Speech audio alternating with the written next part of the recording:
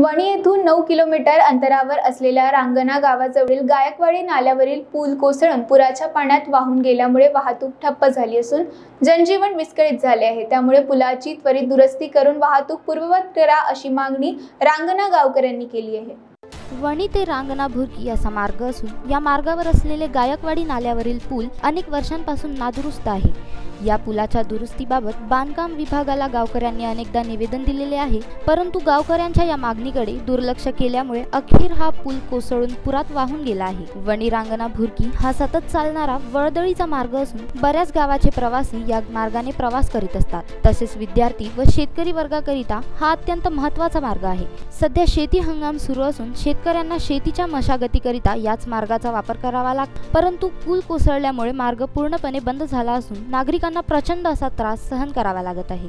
तसेच रहदारी बंद झाल्यामुळे शेतकऱ्याच्या पिकाचे फार मोठे नुकसान होण्याची परिस्थिती निर्माण झाली आहे. त्यामुळे पुलाची त्वरित दुरुस्ती करून वाहतूक पूर्वरत करा अशी मागणी रांगणा गावकऱ्यांनी केली आहे. पुलाचे काम त्वरित सुरू न केल्यास गावकऱ्यांमार्फत बांधकाम विभागाला घेरावा करू असा इशारा रांगणा ग्रामपंचायत उपसरपंच ॲडव्होकेट दिलीप परचाके सरपंच सौरंजना प्रकाश बोबडे रविकांत वांढरे धर्मराज जरिले प्रकाश बोबडे महादेव कतकर राजेश वांढरे दौलत दुर्गे रामनाथ जरिले नीलकंठ गोंडे शेखर वांड्रे रमेश भोयर प्रकाश बोडे सुरेश पारशिवे गंगाराम शिवणकर नवरंग तेलंग मारुती तेलंग संजय तांबे गजानन पाऊणकर यासह महिला बचत गटाच्या महिलांनी यांनी दिले आहे. विकेबी न्यूजसाठी यवतमाळ येथून अजित महिंद्रे यांची रिपोर्ट. बाय सब जानना चाहते हैं।